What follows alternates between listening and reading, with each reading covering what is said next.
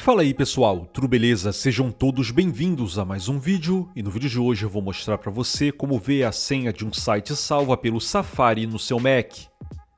Mas antes do primeiro passo desse tutorial, não esqueça de se inscrever e ativar as notificações do canal. Então vamos para o passo a passo desse tutorial. No primeiro passo desse tutorial, você vai acessar o Launchpad do seu Mac e vai até a opção Ajustes do Sistema. Nessa página, selecione a guia Senhas.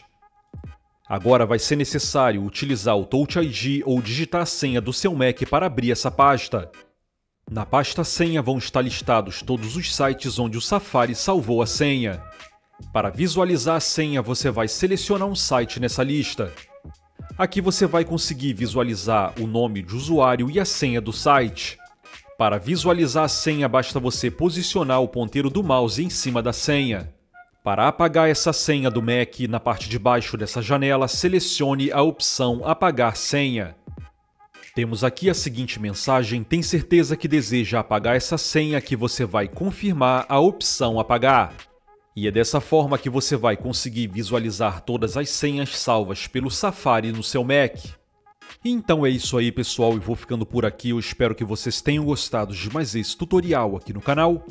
E caso você esteja vendo esse vídeo e ainda não é inscrito no canal, inscreva-se para conferir mais vídeos como esse. Um grande abraço para todos e nos vemos no próximo vídeo.